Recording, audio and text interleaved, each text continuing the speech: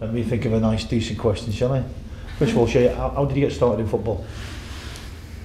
Just as a kid, really, in the front garden. My brothers, I've got four brothers, so we used to play about in the front garden. My dad used to be a goalkeeper as well, so probably must be in the blood, I think. And uh, I used to go and watch him play, and then obviously going up to underage groups and uh, just the local team, really. So who did he play for? Just teams in Donegal back in Ireland. You wouldn't have heard of them, like, but just junior clubs, you know. And um, we'd all go on a Sunday as a family and, and, and watch Yeah. him play.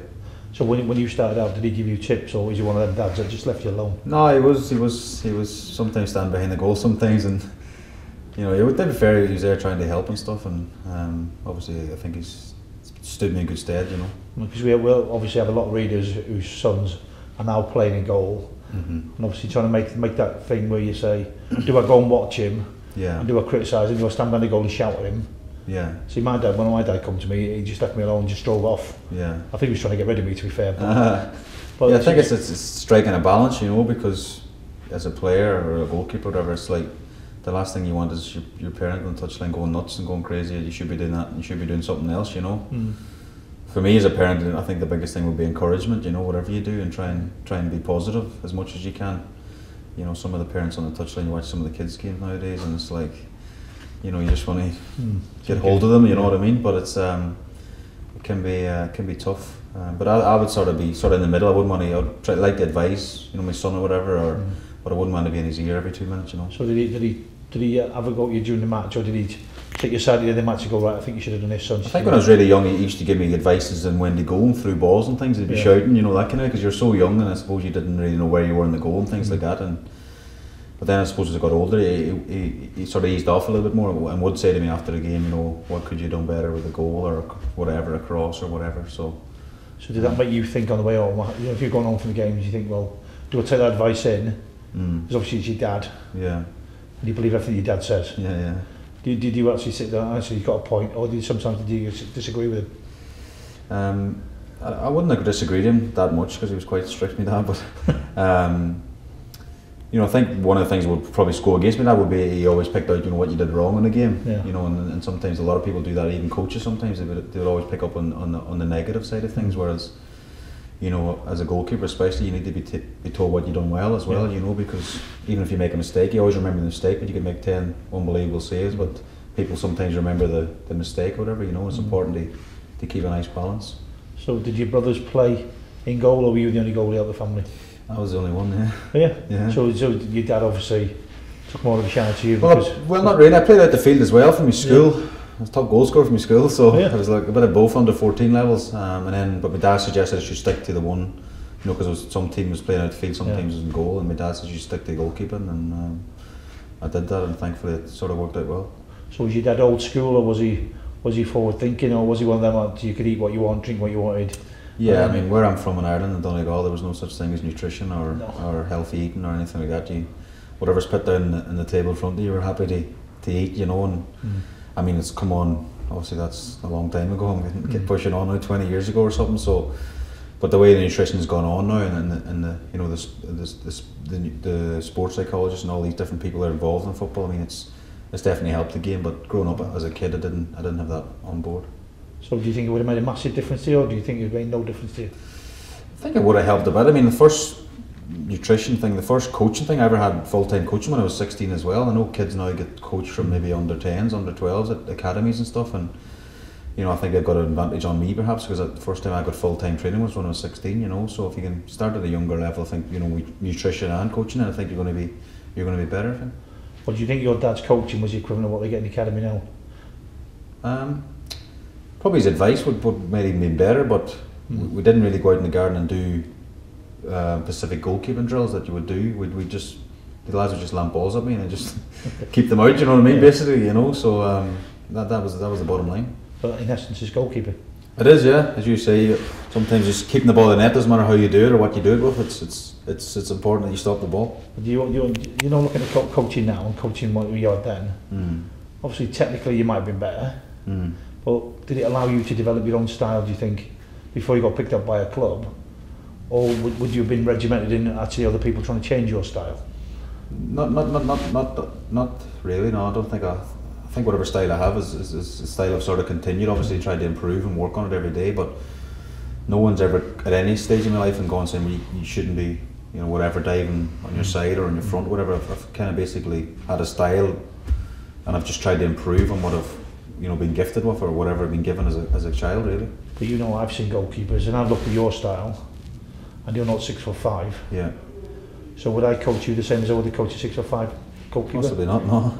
I mean, you know, I always find it strange when you know you speak, listen to commentators and so-called experts, and they talk mm. about goalkeepers, and you know, if you're not six foot five now, then you're not you're not a good goalkeeper, you know. And there's things that that they maybe can do that I can't do, but there's things I can do that they can't do. You know what I mean? So there's no, No. ideal goalkeeper, I would say. So when, when you when you when you go on coaching course and do your coaching badges or you do Mm. your coaching with the apprentices here, do you still have that in mind or do you think, well, I'm going to coach him all the same? We'll do the drills and the drills will be the drills. Yeah. Do you actually, he's six foot five, Yeah.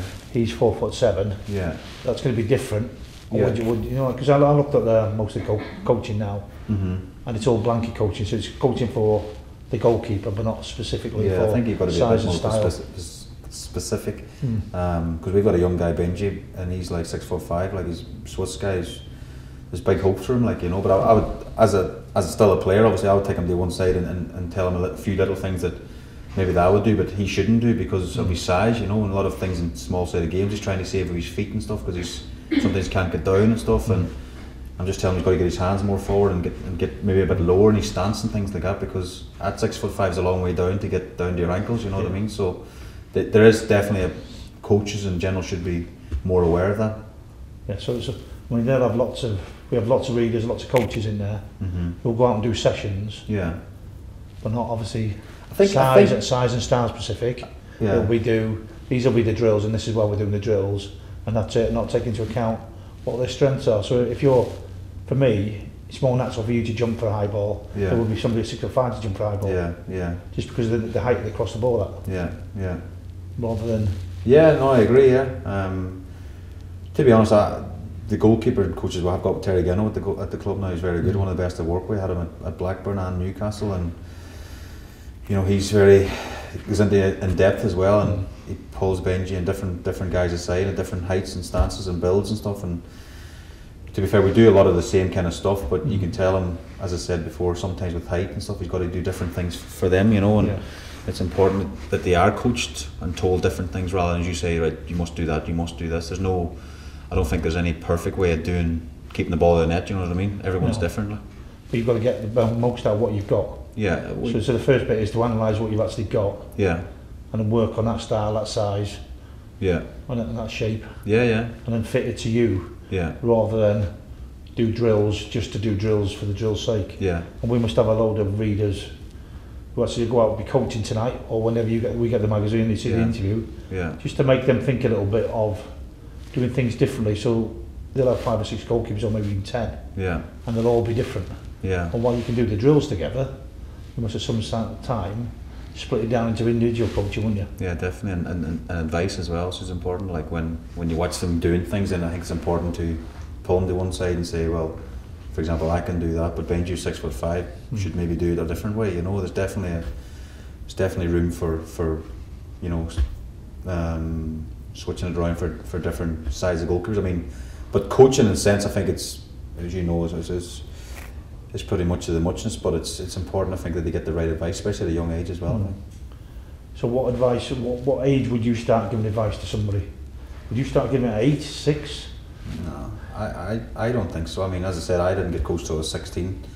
And I think the younger the, the guys are, then I think it takes the fun fun away from it. You know, Mm. I'm a very big believer of, and even now I still try and go out there and train every day and enjoy it and have a bit of fun. And, and you think you play better when you're more relaxed and you're you're diving into top Yeah. corners and you're saying, bloody hell, that was great. You know what I mean? Rather than thinking the pressure, the manager's going to go mad don't. You know what I mean? Mm-hmm. I think you've got to really, especially at underage level, you've got to. That's what I said to you before about the parents. Sometimes wind you up because they're young kids. And they need to be going out, you know, with your mates more or less playing football and having fun. And That's what I was trying to get to before. Did you did you develop, develop your own style because you weren't coached? what's Was it, if you were coached, and people would give you advice, you must do it like this, you must do it like that. yeah. And Possibly, you, yeah. and I never even thought about it till you, till you were speaking about it now, but as I say, I wasn't coached full time till I was 16, and I was only one day a week with Joe Corrigan at Celtic, you know, Yeah. and it was um, it wasn't like now there's every club's got a full time goalkeeping coach, and, and I suppose I had my own style then, and, and I just tried to improve on that, you know, but I think it's important that, as I said, underage is, is to let them, I suppose, express themselves more and see where they're at rather than saying you must do this, you must do that. I think it's. I think sometimes they put constraints on people. Yeah, I don't think that I wouldn't agree with that. No. You know, rather than find your own way of doing Yeah, things, yeah. and then maybe polish that up. Little up. tweaks, like you know, Yeah, just rather polish than it up saying rather- you're doing yeah. it totally wrong. You need to do it like this. Because I think at our age, you don't know what you're doing anyway. Mm. And then at 10, and then once you start developing your own style, it'll come Yeah. and it'll be a little bit more free, a little bit more easy, a bit Yeah. more relaxed. You'd be more relaxed in yourself as well. Because if I've got somebody telling me on a Tuesday I must do this, and I'm trying to implement that on a Sunday, yeah, and I'm finding it difficult, yeah, you shouldn't be thinking about it on a match day. Like you should be, yeah. you should be comfortable in do. your own, your I own ability. yeah. I just think some coaches will try and make you fit in with them Mm. rather than they fit in with you, Yeah, I understand definitely. you know, rather than Yeah, yeah, do it the other way about. I so agree. I think sometimes you, the late developer like I was, Yeah, you got you were 16, I was 20 when I first got mine. yeah, So I think sometimes you build up that style. You've been through a lot you've had to make your own decisions yeah, and you've had to find your own solutions yeah, where you haven't had someone to rely on to give you the solutions. yeah, I'm just wondering if that had a massive effect mentally on you. yeah. Possibly, I don't know. And maybe it's kids nowadays get too much too soon. You know, when you get too much coaching, too much, and Mm. and the, and the fun sort of is taken away a little bit. I think maybe, but. I mean, as you know, the, the, the amount of money they're talking about of young players now, and, and if they can Mm. get them in at a very young age and improve them, and they're, they're in the first team quicker, and I suppose that they look at that side of things. But the overall, the overall game and stuff, I, I just think you Mm. you got to have fun at, at a young age. I think you've got have fun. When, when do you start developing? So you, you were quite lucky because your dad was there in the background Yeah, but didn't force it on you. yeah, yeah, He didn't take you out into the garden and said do this, do that. yeah, So you weren't, you weren't under the constraints of somebody else trying to tell you to do stuff. yeah. So did that make you solve your own problems in your head? So when you think, well, I'll do that next time. If I'm Yeah, not sure, I might ask my dad. Yeah. You didn't have someone there all the time say this, this, this and this. Yeah. So therefore, maybe maybe you solved more problems in your head earlier on, which developed you better from when you did have coaching. Yeah, possibly. Yeah, I mean, um, I, I don't know. It's just that you say you didn't get coached until twenty, and I was sixteen. We, did, we didn't know any different, I suppose, at the time. We just this is our life growing up, and, Mm. and then we got coached from that age, and and hopefully we, we both improved. Mm. Like, but I just think it's it's it's difficult to sit here and say that you should do this and you should do that, and you're Mm. doing that wrong. Like at a Mm. underage goalkeepers, especially because you know can knock their confidence. Only young boys, and it's difficult to. You know, if a coach from a professional club tells them that you're doing it totally wrong, then they could go one way and Mm. never be seen again. You know, it's, it's about encouraging. Yeah, I was just sort of where that mental development comes from. Mm. Obviously, it's quite a strong character to play as long as you have. Yeah. Did that come because early on there was you Mm. and you solved your own problems, but maybe a little bit of guidance from your dad, Yeah. or where, whereas here at underage you're probably getting told this, you must develop like that and done that. Yeah. You can't quite be what you want to be because you can't be yourself. Yeah. Yeah. I don't really know. I don't know. We've been lucky, I suppose, but you know, I had a tough upbringing as well. We used to work quite hard in the fields and Mm. stuff, so I think that's kind of stood me in good stead throughout my career. Knowing, I think you need a real work ethic to be to be Mm. at the, as you know yourself, to be at the top of your game for, for a long period of time. You know, someone said one says oh, it's okay getting there, but to stay there is the Mm. is the more difficult thing. You know, and I know what a hard day's work is, and I know how lucky I am to you know come Mm. in every day and train for a couple of hours and whatever, and, and throw myself around playing football. What you Mm. what you love to do as a kid, you know, and I'll, I'll never forget that. So when, when did you first get your first league club then?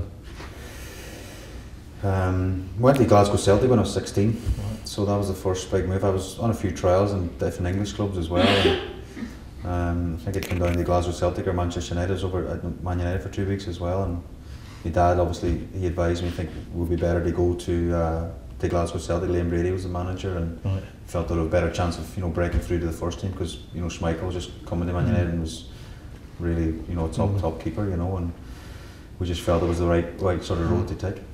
What was it like there compared to where you've been? Huh.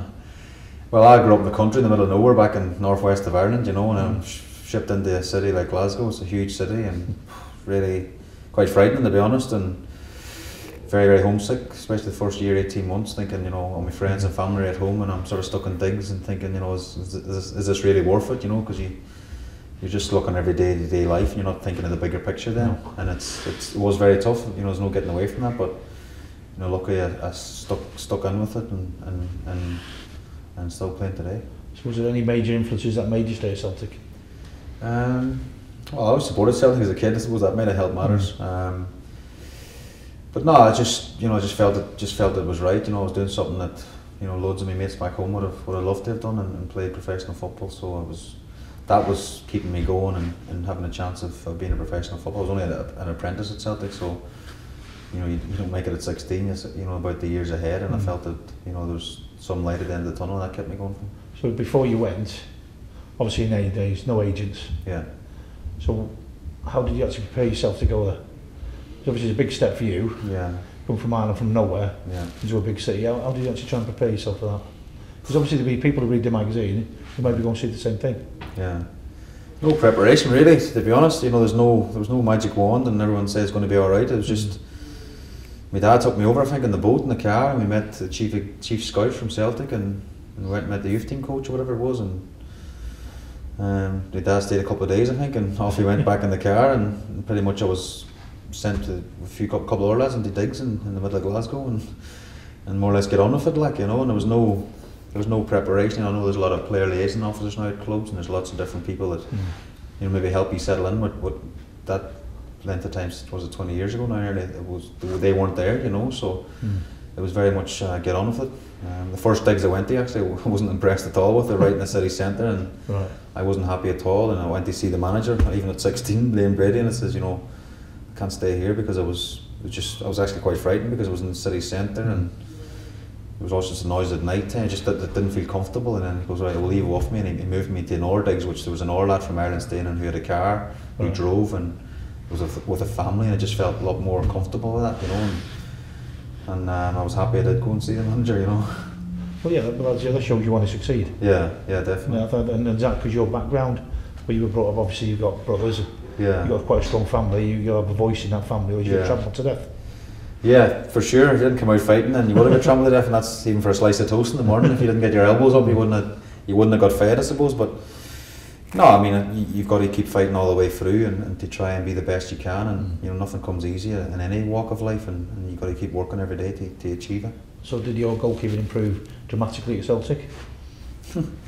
I think I improved, yeah. I don't know about dramatically, but it, obviously, as I say, it was the first time I got coached mm. from a proper goalkeeping coach. You know, Joe Corrigan. I'm sure a lot of the readers would have would have, you know, heard of Joe obviously with his playing career and, mm. and his coaching career at different clubs as well. And but he used to come in only one day a week. He'd come in on a Thursday and you know train the first team keepers and and the young kids like myself. And um, but it was great to, to work with someone like that. Then the other days, and the, the senior goalkeepers would more or less take the sessions. You know, So who was there? Was Packie Bonner Packie there? Bonner was there, Gordon Marshall Mm. myself and our guy called Stewart Kerr that people might have read about. He used to play Yeah. for Celtic as well. Um, and we all sort of mucked in together and um, So physically, mentally, did you develop? Or weren't you aware of your development? um, I probably wasn't aware of it, but first year or two I probably took a lot of niggles and stuff and you know your body getting used to training every single day then I, you know I was feeling lots of different things and your body I suppose takes a while to harden up to training every day I suppose and you know that took a bit of while having little knocks and bruises and what have you you know but um, I suppose that helps you get physically stronger as well and you know, mentally stronger. I suppose I just, you know, just kept my head down and worked hard. I actually had to go on loan when I was, I think, 18 to Queen's Park, another team in Glasgow, Yeah. because Stuart Carey was a year older. He was playing in the youth team in the reserve. So for me to get some games, I had to go Mm. to, to Queen's. I still train with Celtic, but I played at the weekend with Queen's Park. So from working in the fields really hard, Yeah, to coming to, a, well, was basically what two hours a day. yeah, You obviously, Yeah. you know, you're physically fit from there. yeah, It's a totally different type of fitness yeah, to definitely. being in goal. Yeah, So when people say they're fit, there's got to be, I think, position specific to be fit. mm, You know, even, now, Yeah, you know, the number of people I've had training me have broken things. When Yeah. comes to charity things, you go, yeah, everybody can dive and can do this, but Yeah. it's, it's totally different to actually being fit, to being goalkeeping fit, isn't it? yeah, totally different. Yeah, I mean, even some of the players at Aston Villa here, they, if you took them out and done a goalkeeping session, they'd be Mm. they'd be breathing heavily at the end of it, like you know, because it's as you know, getting up, getting down, the physical side of hitting the ground that takes it out of you. Mm. So much different training, uh, basic um, for goalkeeping than it is for for outfield players, and you know, people have a perception of just seeing goalkeeper standing in the goal. You don't need to be fit to do that. You don't, you know what I mean? Yeah. There's, but there's a lot more behind the scenes that goes on that people don't see. So did your did your diet improve? Um, probably didn't really, to be honest. I, I ate what was at the club, and I ate what the, the lady at, the Yeah. digs put on for me. You know, and I suppose they they might have been told to eat healthy or whatever, or put something healthy on. But No I Guinness. didn't. No, no Guinness. No, no. I, wasn't told drastically to do. You know, now that we have nutritionists Yeah. and all that, we weren't. It wasn't. It was too soon for that. I think. Right. But did you did you look into that yourself? Was there anything that you saw outside? Did you think, well, I need to do this. I mean, I need to read this. I need to examine that. I need to research this. Was there anything you did that you Not, thought? not not when I was young, no, but since that, since like you know in the last 10, 15 years, I have I've read into a lot of different things and Mm. spoke to a sports psychologist, different, just different things to try and help me improve. You know, nutritionists, fitness Mm. coaches.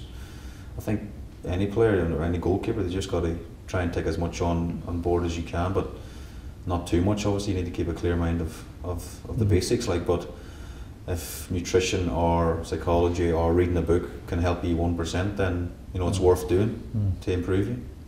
Well, I, I think I do think it is. Mm. Yeah, what what else did you do at Celtic? And did you once you got back in to Celtic after loan? Did you stay there, or did you move on? Or I moved on. It was, um, I think it was about four or five of us. They wanted to keep on at the club, um, and it just offered us all the same contract, which was which was I was nearly on as much as an apprentice. I know it doesn't come down to money at that age, but Mm. you work two years hard, you know, gra- Yeah. grafting, lifting kits, cleaning boots. We actually used to sleep, sweep the stands at Parkhead and everything. So it wasn't just a couple of hours in. You were you were there all day at the club, and and I just felt that you know that, that, that not disrespecting me, but just didn't appreciate me enough. I felt at Mm. the time, and to myself and my dad was just right. We're not signing that contract they give you. We, we, we go home. You know, we go back to Yeah. we go back to Donegal, and I felt at the time I, I was going to get another club, and and uh, I, you know I'd done well enough to, to, to you know to impress the Celtic guys, and I was home for a month or so, and then um, Kenny Dalglish, you know, called and and Mm. um, wanted me to go to Blackburn, which I did, right? which was nice. Yeah. And was it a massive difference between the two clubs? So obviously coming from Celtic is probably ridiculously a big club at that time in Europe yeah, and the world. To be fair, yeah, and then going to Blackburn were relatively unknown yeah. throughout the world. And to be fair, I'm not that big a club in terms of modern history, but Yeah. big. Well, big at the time I was at Celtic, they were actually struggling at the time. They were like getting average gates of 17, 18,000. They were going through a really bad spell at the time, and it was before the new new stadiums all been done and stuff. And it was tough times at Celtic then. And um, to be fair, Blackburn was a was, was a team on the up. You know, Mm. Jack Walker just Yeah. come over and they've just been promoted. And you know, obviously as you say, not worldwide, people wouldn't have heard of them, but. You know, this the year first year I was there. I think they won the league or the second Mm. year. You know, not that I was played any part in that, but just to be there and a part Yeah. of it all, you know, was, was, was, was a good experience. And you know, Kenny Dalglish is you know, one of the best managers I've, I've ever worked for, and, and you know, lots of time for Kenny. And I was buzzing obviously when he when he when he come and, and, Mm. and offered me the contract to, to come to Blackburn. Was there a massive difference between him and Liam, Liam Brady? The only thing with Liam was only there the first year, and then he got sacked at, New, at, um, at Glasgow Celtic, and then Lou Macari took over the second Right. year. So it was Lou Macari that uh, sort of left, and then not Liam Brady, you know. So um, So Lou was desperately into fitness when he. yeah, yeah, I used to see him on a Thursday, and he used to run the lads around the track just and get medicine balls out and Mm. start. Yeah, very much so, and um, I didn't agree with him. Probably still don't agree with, but you know, every manager's different, I suppose. Mm. Well, then you've got to get your head around working with managers, haven't you? Yeah. So what would Lou do on a Saturday different to Liam, for instance? Well, I wasn't. goalkeepers. I wasn't really involved in the first team when I was at Celtic racing. I Mm. was I was pretty much with the youth team, and I didn't really get involved. I was, I was sub three times I think for the first team, and that was the second year. Um, I was a sub for one of the old firm games, which was a bit of a fifty-two thousand Yeah. um, at, at Parkhead, and I was only seventeen at the time, so that was a bit nerve wracking to be honest. And Yeah. we actually lost the game, but um, good, great experience looking back now, you know. But I, wasn't too much in the first team setup, you know, to, to, Mm. to speak about what Liam was like and what Lou was like. So Kenny, Mm. different kettle of fish, five sides. Yeah, Kenny was brilliant. Yeah, I mean, one of the best bit of advice I probably had in, in my life and for goalkeeping was, you know, you know, comes to media and different things is, you know, don't get carried away with you know people writing good stuff and, and Mm. don't don't get too low and you know if you make a mistake and somebody's hammering you. In fact, he said don't even read it. He said because what's the point? You know, you know you've Mm. you know you've had a bad game or you've made a mistake. Then there's no point in reading some guy the next day who's never played goals before telling you Mm. what you should or shouldn't have done, you know, and I've always sort of kept that on board and, you know, I think it's great advice, um, and, and, you know, Kenny's, Kenny's been great for me. So what was the difference in your in your training styles? So the difference in training, your nutrition. Well, when I went to Blackburn then it was full-time training as well. Mm. Uh, Terry Gennoe was the goalkeeping coach who, who trained every day, obviously, and Right. I got to work with Tim Flowers, Bobby Mm. Mimms, um, we're all there, Frank Talia, Italian goalkeeper, uh, Australian goalkeeper, and there was a good group of keepers there, and it was a great experience for me. Obviously, Tim was England's first choice keeper at the time, and you know he's, he was really on top of his game, and you know to train with him every day was a was, was a fantastic learning curve for me and a great Mm. experience as well. And and as I said before, Terry Gennoe was one of the best best coaches I've worked Mm. for, you know, and um, I've got lots of time for him, and he's you know really enthusiastic about you know, he's, he's training and, and he's goalkeepers as well. So difference between Tim and Packie Bonner, training wise. Um, there was different things, yeah. I mean, Packie used to do this thing. I think it was either a Thursday or Friday, and just little springs into the you know the post and stuff, and then Mm. mid height and dive into the corner and top corners and stuff. You know, Mm. he would do that religiously. You know, every Thursday or Friday. I can't remember what the exact day it was now, but it was like probably in his pre-game psychological thing. You need to, need to do this every week, you know, Mm. and. And then Tim was of the he, he used to do this thing turn off the post thing which I kind of do now as well and you know before every game as well little drills Mm.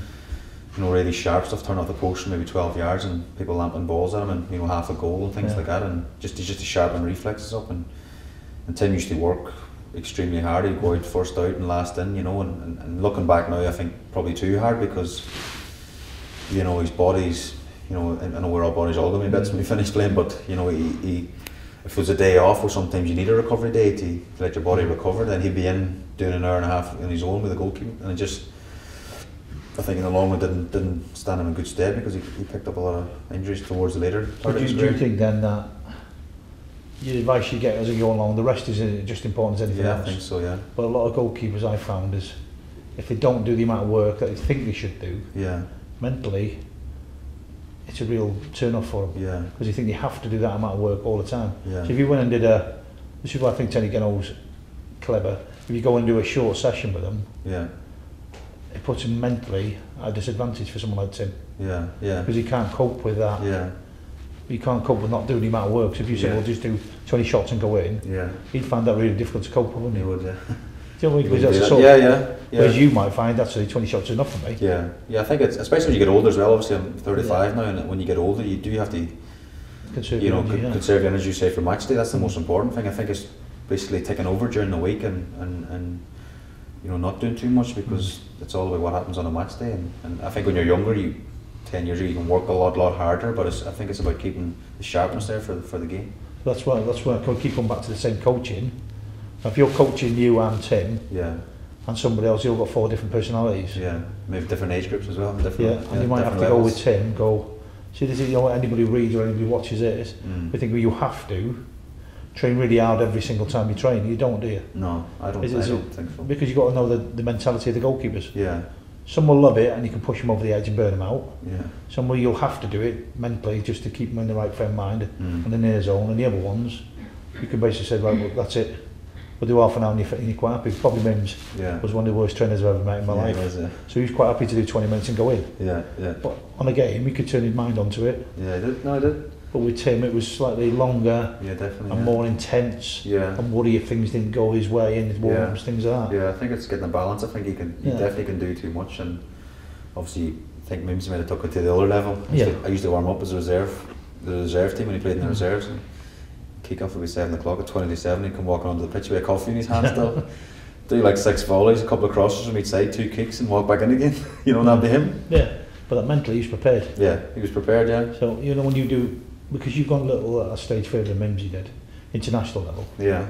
Do you think the way you've gone about it mentally has made a difference? Yeah, look at Tim. I think Tim Tim was never going to last for England. Yeah. Because he's far too intense. Mm. And probably took a bit too much criticism off other people. Yeah. Nobody read it and he'd, he'd take it to heart. Yeah. And have to work harder to get out of what do he did. You know, if he was in the rut, he'd work harder and harder. yeah, But sometimes you take a step back. yeah, But Mimsy was trying to get him to work a little bit harder. yeah, But with you, obviously, you, you've trying to find a balance. yeah. Think. You've gone to international level, Mm. and you know when you go away with Ireland, Yeah, you're not going to train as intensely, are you? no, So it's, it's trying to retune your mind into ready for Wednesday, so you might not do that much. yeah, So if you've got someone like Tim who wants to work and work and work, yeah. as a manager you're thinking, well, is he going to get injured before Wednesday because he's yeah, bonkers? Yeah, yeah, He's doing that much work, or can you retune your mind in a short space of time? So actually go, actually, I need to just calm down this down, yeah, as long as I'm right for Wednesday, because yeah, that's what I want to be. yeah. So I think I do think a lot. As you say, it's probably a mental a mental thing. Then you got you got to, you know, explain to Tim or another goalkeeper, however, that you know sometimes less is more because the most Mm. important thing is you're you're, you know, fit and ready for the game, and Mm. You know you, you, you can't be doing two and a half hours a day before a game and then you know be totally fine the next day. I mean, it's, it's about taking over the day before a game, for example, like and, and, and getting the right balance. Mm. But you know you work with some goalkeeping coaches, or you've seen some, you've heard some. Mm. But if you're not sick, they're not happy. Yeah, yeah, I don't agree with that. like. No, so you've got to be a balance. So it's, I think it's really important for people who read this and, and watch it, is, Mm. is that you've got to find a fine line and you've got to know where you are in the week. Yeah. You've got to know where you are in the month. You've got to know Yeah. where you are in the season. Because you've got to manage your body and manage your goalkeeper all the way through the season. Yeah. And the other side, what you said there about being sick and stuff, I mean, I, I don't, I just totally disagree with that altogether. I mean, if you want to do a fitness thing, then then sometimes you can be sick just doing purely fitness. But if, if a Mm. goalkeeper and coach or whatever is, is is having the goalkeeper flying up and down around the goal everywhere, every session, then you- you're going to get so many bad habits because you're you're knackered at the end of it and you're just doing things that you wouldn't normally do, you know. Mm. And if, I really think if you keep keep the drills short and sharp, then the quality stays there and you don't get bad habits because when you're flying about the goal trying to keep balls out like 10 balls in a row or something then I just think you, you, you get bad habits and if you do that every day then you know the goalkeeper's not going to improve I do think you get that with really inexperienced coaches mm.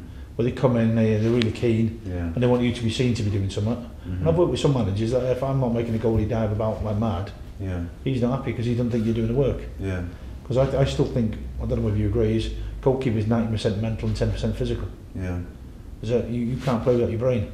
yeah no it's And if, that, if that's gone, because everybody's fit nowadays, aren't they? yeah no The difference for me that separates you from somebody lower down is your brain. yeah That's yeah got nothing to do with fitness. I know and the other thing as well goalkeeping coaches probably do 80% maybe 90% some of them with your hands and 10% with your feet Mm. And you go into a game, it's probably 80% if you need your feet Yeah. and 20% with your hands, you know what I mean? Because the way that the rules have Yeah. changed and all that kind of stuff. But, you know, why shouldn't the training be adapted to that? And, and some days you might not even need your gloves, is, is doing drills with your feet even. Mm. But it's just looking and it's learning, isn't it? Mm. And it's what you've learned. It's, it's how you can show. It's what you can give to somebody else. hmm Isn't it? And if you're a young coach and you haven't experienced what you've experienced, Yeah. it's quite difficult for everybody, isn't it? Yeah, I think so, And then you go along to your coaching badges Mm. and they do all the drills and they do everything.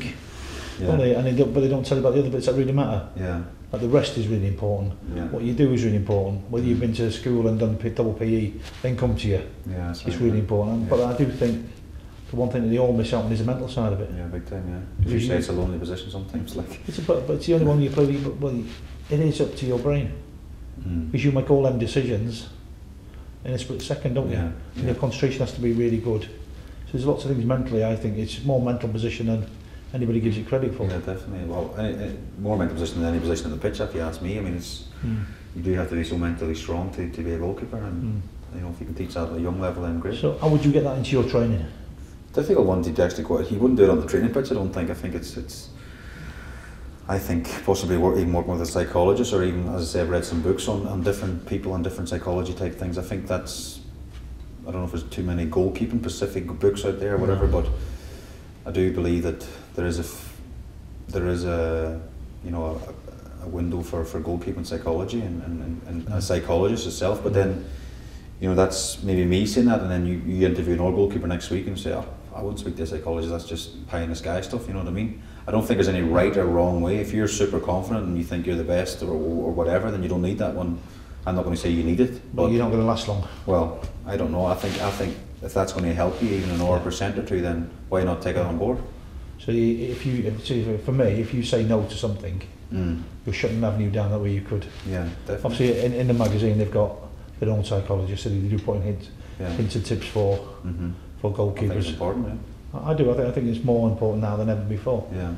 And I, I do think it's some way you've got to get it into training, whether you work on their confidence, Yeah. whether you do these sessions as really short and sharp to make it realistic like a match. Because I think sometimes, and you've done it, I've done it with some people, let's do 20 top corners. Well, that Yeah. don't happen in a game, does it? Yeah. No. Yeah. So do you, do you try and make it as realistic as match tempo as you possibly can and do short, sharp, Yeah. and to sort of train your brain to go, right, we're going to do 10 seconds working and out, 10 seconds working out, 10 seconds working out. Yeah. So you do it like that rather than me go, right, we're going to do 20 of these, 20 of them. No. Yeah. Well, 20 can take a bad goal a minute and two minutes. No. You don't work for that long in the, in the sessions, do you? No. Never. So I think you've got to take it back to make it as realistic as you can as a young goalie Yeah. and try and train your brain without them knowing. Yeah. Yeah. So you train the brain to switch on and off by doing the sessions yeah. Really yeah. short and sharp. Yeah. So it's different for you because you're at that level now where you know you know what you're doing with your head. Yeah. But Yeah. when you're younger, it's just trying to train them unconsciously Yeah. No, to I try and get yeah. Yeah. up and down, up and Yeah. down, switch on, switch off. Because as, as you say, it's very explosive goalkeeping. It's not. you know, you don't, you're not going to get 20 shots in a row. Are you in a game? It's never going to happen. Well, if you are, you're relegated. No, but it's like it's the, having the, as you say, Yeah. switching on for them a couple of Yeah. seconds when you make the save. And so I do think you can get that into your training if you're realistic enough to think about it and not just do the drills for the sake of doing the drills. Yeah. It's do it with a, a game in mind and make it as much realistic as you possibly can. Yeah. So that to me is short chat and get out Yeah. and then make sure the next one can go in. So you, the time he's resting, it'll be like a game and you're back in and, Yeah, definitely. and you're back to work. Yeah. Yeah, So I do, I do think there's a lot you can actually put into it.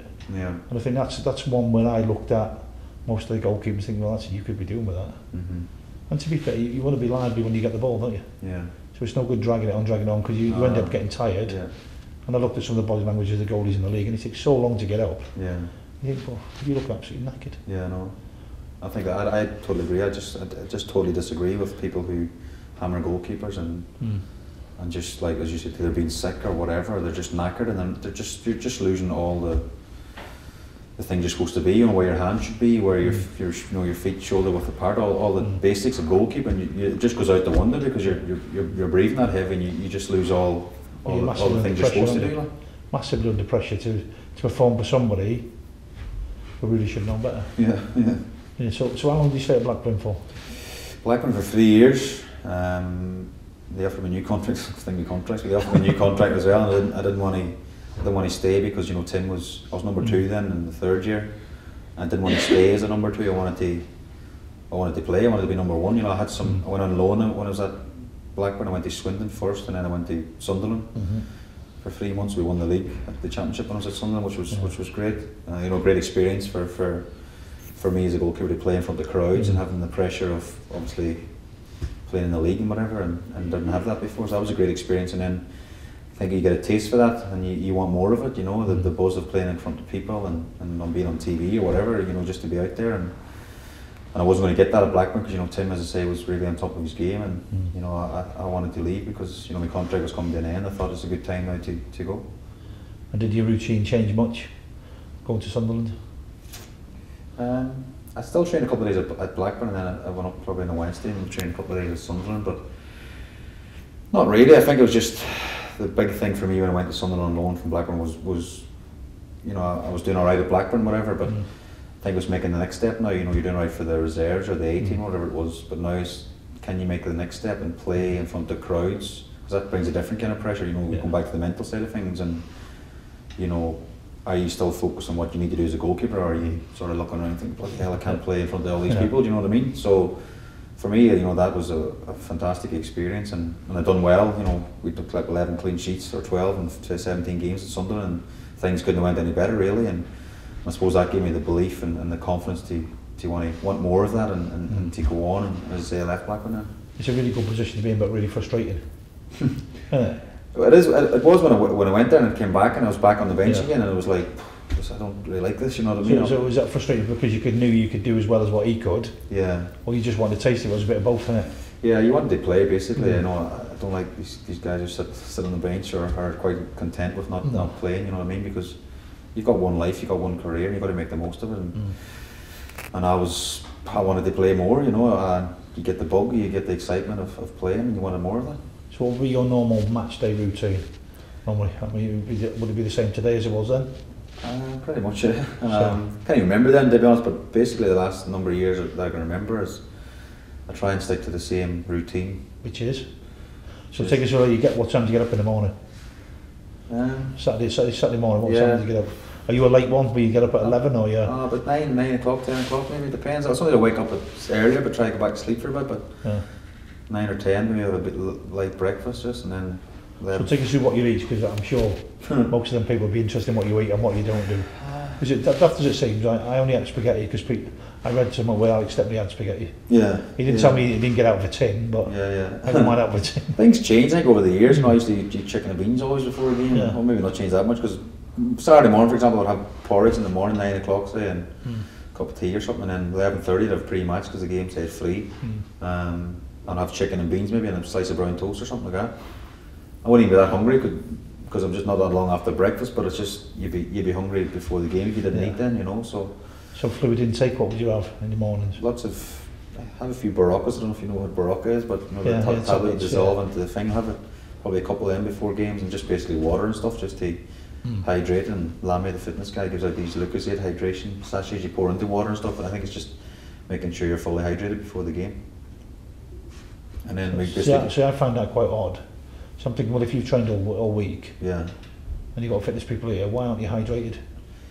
Yeah, but they don't follow you home and, and see what you're drinking No, and eating no, at home. so, That's the okay. problem, like because we do urine tests on a day before games and stuff as well, and you know I think basically should be between well 100 and 300, and like last week for example, I came in I was eating 890 or 900 or something, you know, Yeah. and the day before obviously after training I just didn't drink enough fluids and stuff. Right.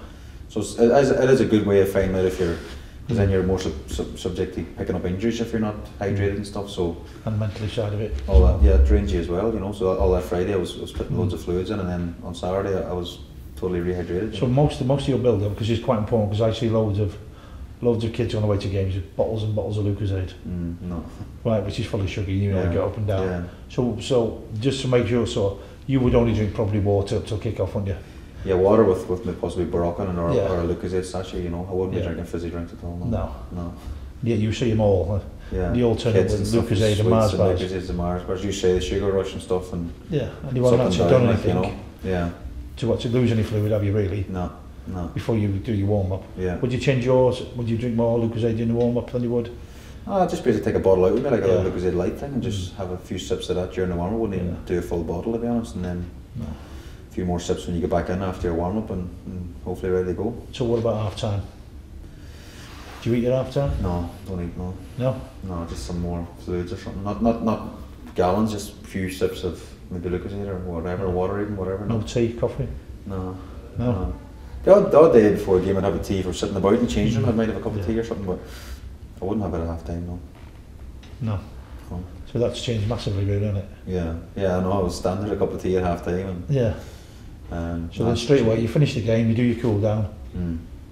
and then you, then what do you eat? Do you have a, a period where you have to eat with a certain amount of time, or do they give you something in the dressing room? There is food in the dressing room. Yeah, I think it's important. I think they say within half an hour you're supposed to get some Mm. stuff back in, you know, because it's it's a high, you know, if you put It's out your that window much, to- a yeah, window if you put it, stuff yeah. in. So there's, well, I think it's quite high carbohydrate pizzas and stuff and chicken and wraps and things just to just to get something back into you. Then you'd have dinner later when you get home or whatever. So you know. do you find out how to eat after the match? Uh, not too bad, no, because you'd be hungry at half eleven, then you'd be finished maybe half five. You know what I mean? So Mm. it's a bit of a stretch between them. So I wouldn't, I wouldn't have a problem eating. No. And then your routine during the week now, at the moment? Monday morning you come in and... Monday, well, if you a game come on a Sunday? Saturday, some would normally probably train Monday, Tuesday, and normally break the week up. We'd have a Wednesday off, train Thursday, Mhm. Friday, and, and game Saturday. Like so. So you know, you obviously a strict diet. Mm. Yeah. So what mental work did they do with you and what physical work did they do with you during the week? Mental work. Probably do a lot of it myself, but we do. Mm. The docs brought in this, this, which is quite the last few months here at the club is this eye specialist from from Ireland. Right. It's like the there's a reaction board where lights come on and stuff, and Yeah. and you know, been getting more and more into that, and, Mhm. and you know, there's a number you're going to get within a minute, how many lights you knock out and stuff, and it's been improving and improving, so you can see that that's, Yeah. so we're working on that, different stuff in the gym, pre-activation stuff, we do yoga every morning, 9.30 Yeah. for 30 minutes, and um, generally go out 15 minutes early with a, with a goalkeeping coach and the other goalkeepers playing in two touch, just basically Yeah. a bit of fun, they, they start the session off and then, Mm. and then we train. So your specific days with Terry Gennoe would be what? So they would be out probably quarter past 10, as I say, two touch for 15, 20 minutes. And then whatever Terry's set out that day to work on, then we would, you know, build into that. If we're Mhm. doing angles and stuff, we'd, we'd start with basic handle and build up to, to you know, maybe start in the middle of the goal, moving to the side and, and, and different shots from different angles. If we're doing a crossing session, we'd, we'd build up with little throws just to get you off the, off the ground and, and build up to people crossing balls in and with bodies in the box and things. Is there anything you hate? No, not really. No, I don't. I don't really hate it. I, I, what I hate before is what you said about the physical side of things. You know, and Mm. probably because you're older now and more experienced, you can you can talk about it more. But when you're Yeah. a kid, it was like you must do this, and it mm-hmm. was like you didn't know any different, and you go right, I have to do this because this is what he's saying. You know, and and looking at it now, I just think it's it's totally the wrong thing to do, even at, at, for kids level, because you have to work. But I think, as I say, to keep to keep your quality right, then you've, you've got to be, you know, Yeah. not breathing out your backside, is it? Mm-hmm. So, so would you, I know I've talked to you before, but yeah, would you sit down and begin the season with your coach and go, right, this is what I think I can do, yeah. what do you see in me, how can I improve, and then set yourself targets for the game or through the season? Yeah, I think you do profiles in a sense at the start of the season, maybe it's after halfway through the season, on, on where you think you need to improve. Like, you know, like for Mhm. example, my left foot needs to improve, you know, because of the back Mhm. pass and different things, which it has improved, but there is still room for improvement. So during the course of the week, we would do some work on my left foot to improve it from the week before or the day before or whatever, and little things like that, even throwing the ball out, just basic goalkeeping stuff, where you've marked yourself out of ten, say at the start of the season. You know, revisit that after six months and see have you improved on it, and hopefully you have. And if you haven't, then you need to work more. And even if you have improved, you see the improvement in the mark you give yourself, and you know you can be better again. Yeah. So which is important. As long as you're not too hard on yourself. No, I don't think you can be too hard on yourself. But the other thing that that's back to how many games you have. If mm. you're away with Ireland, if you're, Yeah. you know what I mean. So a, a lot depends on that as well. But if you have a free week, then I think it's important that you can have that window to improve on, say your left foot, for example. So the, the other thing you've got to look at that and think, well, I'll tell you what, you've now come to Aston Villa and working on your left foot. Yeah. How many coaches have you had before that who've not seen that? Yeah. No, to, to be fair, well, the one at, the one at Man City was different because he was Italian and didn't really speak Yeah, but I'm saying, English. But but, but even for kids and even for coaches out there, mm, you know, you've got to, you've got to look at what you've got, yeah, make an assessment, yeah, and then go from there. yeah, Because you've been to Celtic, you've been to Blackburn, yeah, been to Man City, yeah, and you're still trying to improve your left foot. yeah, no, yeah, And maybe if somebody sat down with you early on and gone, like, let's look at you, Shay, as Shay. yeah, Like, what are your weak points? What are your good points? Right, okay. Yeah. You've identified your left foot. Because your left foot, if it's improved now, it must be rubbish back then. To be Yeah, fair. yeah, well, know what I 10, years ago, I could hardly stand on my left foot. Yeah, know, so, so I know- I know the back pass rule came in and made you, yeah, but you think that somewhere, somewhere along picked up on that. yeah, no, yeah, Maybe you should have done that a lot earlier and you would have been better. yeah, And that's what I'm saying about the coaching. It's just like identifying what, yeah. you've got to adapt a little bit, you know, to what the strength of the, the individual goalkeeper is, I suppose, Mm. that you're working with. and the way the game changes. Yeah, definitely. Because the game's changed massively. I mean, even now, apart from back passes, I mean, the balls you use now, are, are, Mm. you know, when you played and when I even started, I mean, the, the, the much they move now and stuff, whereas, Mm. you know, 10 or 15 years ago, you would have tried to catch a lot more, and that would be the done thing. And even now, you still try and catch it, but because they move so much more now, you've got to do a bit more training on, on, on where you bang the ball because, you know, the balls are can do so much in the air, you know, and, and, and So- people so- who not, wasn't the yeah. goalkeeper probably don't understand that, you know. So would you would you stay further on your line now than you ever did before? Possibly, but it's just trying to get that balance, you know, because Mm. I watch goalkeepers and videos and watch, you know, some of the best, whatever people call the goalkeepers in the world, and you know, you look at some they're on the six yard box making saves, and you look at somebody like I know who's retiring, about Oliver Kahn, who's Mhm. basically on his line making saves, you know. I was thinking it's because because the ball moves. Yeah, you've got more time to, to, to reaction react. time yeah, is, yeah. is more. I think it's key not to get too far down the line. You see some goalkeepers as people's hitting it are still trying to get down the line of the, Yeah. the ball and Mm. setting they're diving back because they're not set. You know what I mean? It's so important that you're set wherever you are in the goal, even be at the right position or the wrong position. But I do believe if you can be a, a yard, you know, to your line, closer to your line, and you do have more time, especially with the new balls because they, Mm. they do move a lot more. The only other side of the coin is the closer you get to the line and the less window is for you know if you mishandle one or whatever, then yeah. you've, you've got less chance of, of maybe reacting to the second one. So it's a balance act between. Yeah, yeah. I think it's not getting too close. Like I think like Oliver Mm. Kahn, who's one of the best goalkeepers in the world. Bear in mind, Mm. I thought it was too close to his line, and then trying to think who's someone who you know is, who's very far down the line. Perhaps it's just Mm. getting a balance in, in between. Yeah. So it's, so it's difficult again to replicate that with kids, isn't it? Because the balls are usually different again. Yeah, no. I So when know. you come to that, so I look at that. I How, think- how often do you examine your game? So you come in on a Monday, you go right, okay, blah blah blah, whatever. We need to fix this, or we need to look at this. How often do you say, well, major change, or the ball's been a major change, Yeah, but the size of the players have been a major change as well, haven't they? yeah, yeah. Because the players have all got bigger. yeah, the fitness as well. I think they're more physically Yeah. stronger. So when would you say actually look in your mind the game's changed Saturday that didn't work I mean how, how soon did you start adapting to that new ball so obviously you're looking at reaction time yeah. you're looking at different things how, how, how often do you actually sit down and think about this is what I need to think about Um, or do you do it on a constant ba- sort of weekly basis Probably a weekly basis, yeah. I don't think you, you can be sitting 24 7. You know, you've got to switch off No, as well. yeah, but I think it's yeah. it's important that you revisit different things and look at some video footage of what you've done, or Mm.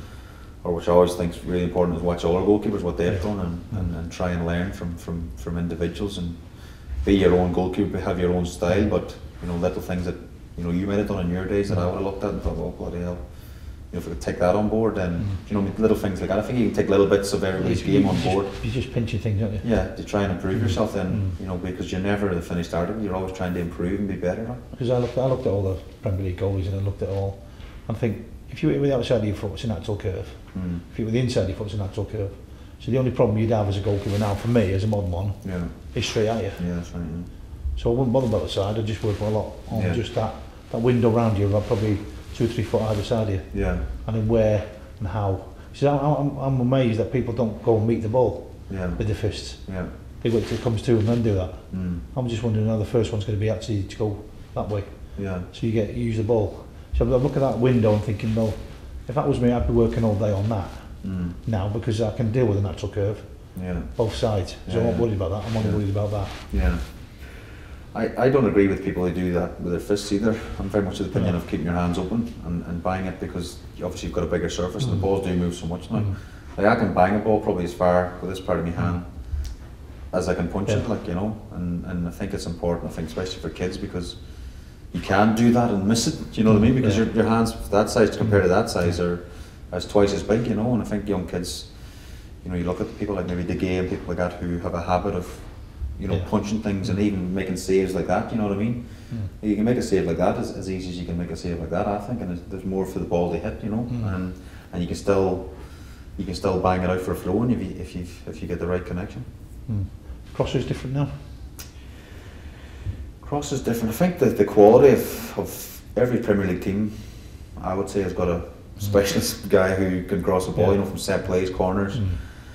You know, it's probably going back to even Pat Jennings, you know, the, the, the days of the ball just being hung up in the box Yeah. and, and keeper coming and, and picking up. Or, or you get the odd one in the game, don't get me wrong, but every team in the Premier League nearly have a have an expert on, on set plays and corners and free kicks and, and, and the amount of crosses you can come for now are, are, I think a lot less than what you could for you know ten years this, is, this is where I have a problem with looking for six or five goalies. Yeah, because I just don't think it's it's a natural it's a natural movement for the goalkeeper of six or five to come for a cross in the Premier League today. Yeah, because it never nobody crosses a ball that, that's No. seven foot eight foot do they? no, never. Really, well, the odd time as I say, but It's a, that's a bad ball. Yeah, but normally because of that the good quality. Yeah, and do you, do you think the height of the goalkeepers will change? They'll go back to Oh, like the, the lad at Swansea Vorm yeah, he's a diver and just before you're not even the biggest diver are yeah, you yeah, so it's more natural for you to go that way yeah, up to meet the ball than it is for them to go down yeah. No, yeah. So I, do, I, do, I look at them and I see them having problems and thinking maybe goalkeepers can have another shift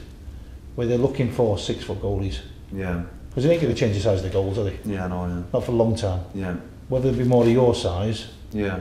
and less of the Petr Čechs. Yeah, I think when the goalkeepers are so big as well, they, they, they get tend to come for crosses that they shouldn't be coming for, and then they get caught out Mm. because Yeah. of the size. And but the, the problem they do have then is the quality of the ball. Mm. You know, doesn't matter if you're six foot five or six foot. Then if the quality of the ball is doesn't matter who's in goal, that you, some balls you can't get. You know what I mean? And, and the, the bigger guys sometimes get drawn into things that they can get, and they and they can't, and get found out in that sense. You know, and this goes back to decision making. One of the most important thing of a goalkeeper is, is decision making. Be that shot stopping, crosses, through balls, whatever. It's, a, it's one of the biggest attributes a goalkeeper needs. I do I do think it's, it's changed slightly goalkeeper and it'll change again, won't it? Mm. Because you have to be better technically with your feet now, don't you? Yeah, yeah, And you deal with less. I think I think some of the goalkeeping bits will die off yeah, because the crosses are different now. yeah, Probably through balls and probably slightly harder now because people drop to the edge of the box. yeah. So it's going to be shots from outside the box and really set pieces. Mm. They're the two main things that I think a goalkeeper is now going to have problems with. Yeah, There's nobody crosses the ball from deep anymore apart from really? Blackburn yeah. and Stoke. They're yeah. the only two teams that play that way now. Yeah. So goalkeeping's evolved in that way that because teams drop deep, you'll have different problems because it must be less physical for you now than it was before. Yeah. Because yeah, you, don't, so, yeah. you don't get smashed anymore, do you? Yeah, no. Very rarely. So, so your game must have developed subconsciously, really, mustn't yeah, it? Yeah. To deal with them things and everybody drops deep, so you'll have to go, well, so maybe it's, maybe it's changed dramatically for you. Mm. When you first got in the first got in the team. Yeah. So, Uh, possibly, I, don't, I haven't thought about too much in depth, but I definitely believe that you know the quality in, in the Premier League and as it has improved. There's no getting away from that, and, and the set plays has improved. You know, so in a sense it makes it more difficult, but you've got to adapt your game Mm. to, to combat that. But I mean, I know you've got Dunny and you've got James Hughes. Yeah, You're pretty quick, so you play a higher line, don't you? yeah, You don't tend to drop that deep, do you? At times. no, So yours might be slightly different to somebody at Bolton where they just drop onto the edge of box. Even, even Yeah. Man United drop onto the edge of box and let you play in front of them. yeah, So really, you wouldn't have that as much to do in the games.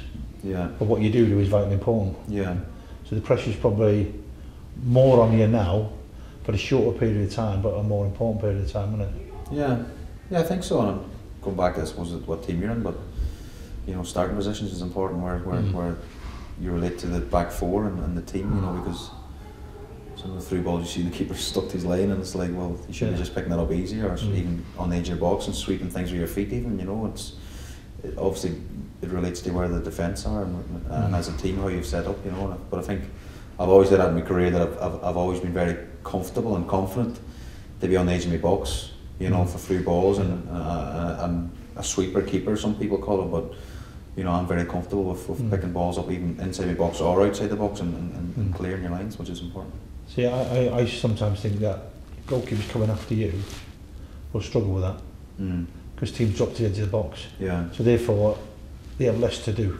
yeah, They have less through balls because it's only going to be a two-yard ball. yeah, yeah, yeah, So your starting position is still vital, but it's just them little through balls, isn't it? yeah. Whereas, you know, when I look, I look at your team, you play quite high line. What's it like playing from Republic? Is that the same? Do you play high line? Yeah, we don't, we don't generally try and dr- draw off too deep. Yeah, Mm. Um, most teams I've played with, to be fair, have been like been like that, you know. So it's, Mm. it's important that you know you do. Well, you need the leadership as a goalkeeper as well to, to keep them Mm. away from you. You know what I mean? Because obviously, if they're back on top of you, then it makes it more difficult.